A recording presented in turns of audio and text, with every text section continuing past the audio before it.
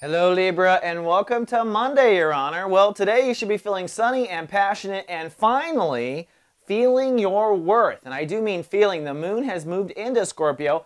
Mercury is now direct. We have our mental faculties back online, which is a huge thing for an air sign. Been very scattered with the Mercury retrograde. I've been talking to Libras off camera and also from on, and you all have really felt really scattered the last three weeks. Now it should all be a big payoff today. The moon is in Scorpio and one by one striking each of the planets in the house of self esteem and self worth. And as I talk to Libras, I've really understood what this has, this has been about in the last year.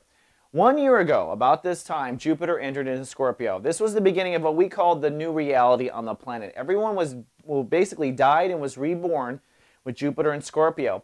And for Librans, it came down to you changing your self esteem and understanding your self worth.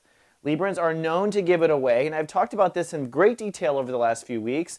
Ultimately, you continually put yourself on the witness stand and you don't put yourself in as the judge. You're the fair one. You're the one supposed to be hitting the gavel and making the judgments.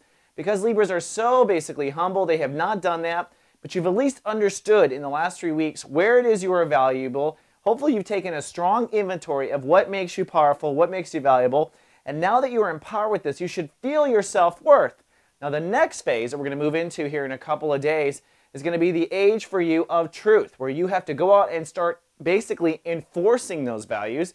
Not going to be fun for Librans, but when it's all over, people will not be taking advantage of you anymore. So celebrate today, Libra. Feel your value. And I'll be back tomorrow with more soul horoscopes. Live, love, be. So.